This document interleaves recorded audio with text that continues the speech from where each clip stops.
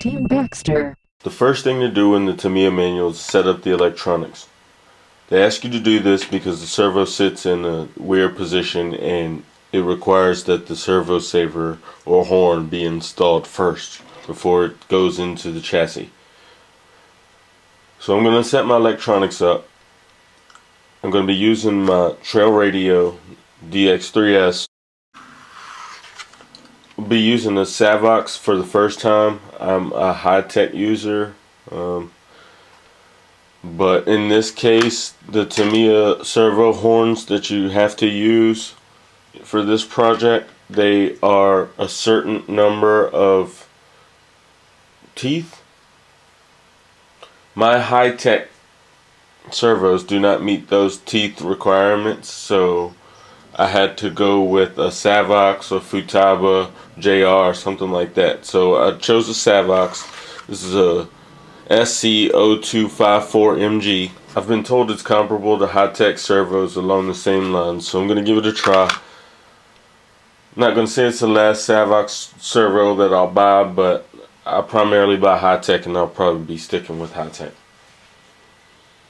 The ESC I'm using is the stock ESC that came with the kit. Pretty much free ESC. I've used it in the FJ Cruiser. It worked well. I mean, great for a basically free ESC. So I'm going to use it again, of course. Um, old standby SR200 receiver and the stock motor that came with it. And I just got a regular old 6 cell nickel metal hydride to test all this out with. So I'm going to set all this up and get the servo horn installed on the servo and then I can actually start putting the chassis together. I've got all the electronics set up and now I'm about to start dropping them into this chassis. This is the lunchbox chassis, pretty much a bucket style. Um, just drop everything in there and keep it moving. So I'm going to get the electronics on and the body mounts and a couple other small things and then I'll check back in. The electronics are all installed in this chassis. The ESC went on top of the platform, the receiver down in the bottom. Um, I coiled the wires because they were a little extra long. Uh, servo sitting right there in the front um, and protrudes out of the bottom. So I got those installed. I'm going to set this box off to the side. And now I'm going to start working on the rear gearbox and the axle. It's all one. The motor sits on the rear axle and the gearbox on it pushes the truck. This is the actual rear axle here on the parts tree. Be clipping that off and installing a series of gears in this axle. I've got these axle halves geared up and greased and now they go together and the motor gets mounted onto this.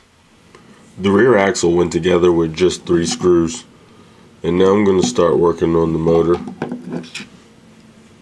it's already got um got the motor mount and the pinion I already installed the motor mount the pinion and they actually install this they call it a nylon band zip tie whichever um, on the to hold the wires down so this is going to get installed onto the rear axle along with a few accessory pieces and some ball joints and the wheelie bar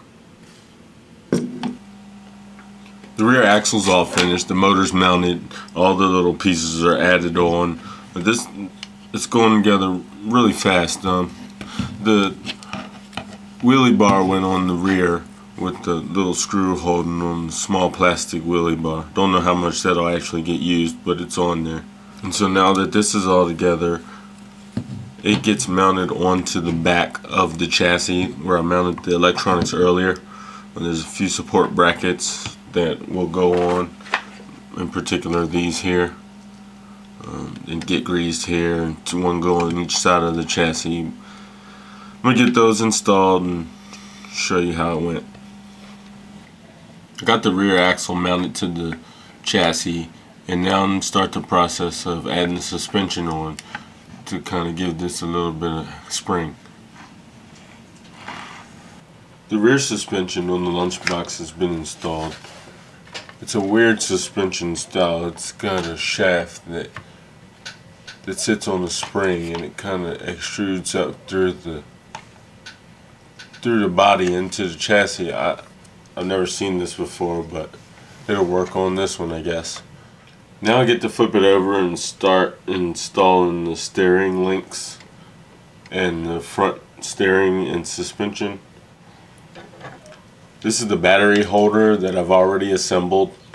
It's a simple just swing door that swings open and allows for a six cell battery to be slid into the side.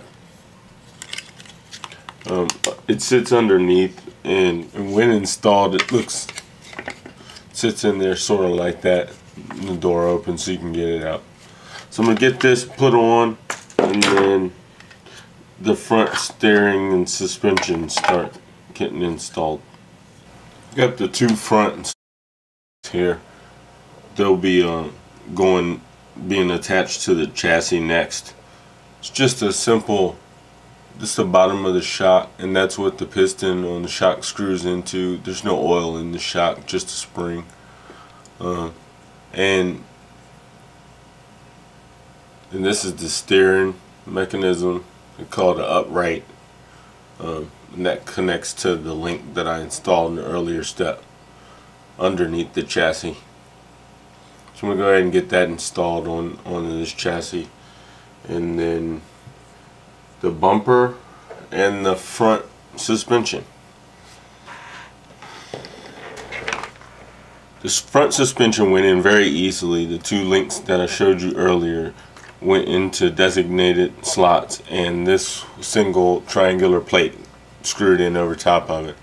From there I installed the front wheels which are just rolling on ball bearings and uh, I also installed the front suspension, the spring uh, and it's the same mechanism as the back. The spring compresses and the piston shoots out of the top. The spring has been greased to move as best as it can um, and the bumper was installed as well with just three screws right there in the front holding it on. That's pretty much the, the extent of the truck. It's pretty much ready to run at this point. The length as built as instructed. The camber is off in the front wheels, so that needs to be adjusted. Need to move on to detailing the body. I painted the body purple in the first step, uh, along with the wheels that are already on the truck. So now I just need to do the detail work with the windows and the door handles just a little accent work um, not too much stickers. I'm not gonna put the big Vanessa's lunchbox sticker across the side. I'm gonna leave it just like this. It gets uh, tinted windows hard plastic tinted windows and roof panels. So I'll get that installed. Details grill and bumper and the lunchbox will be done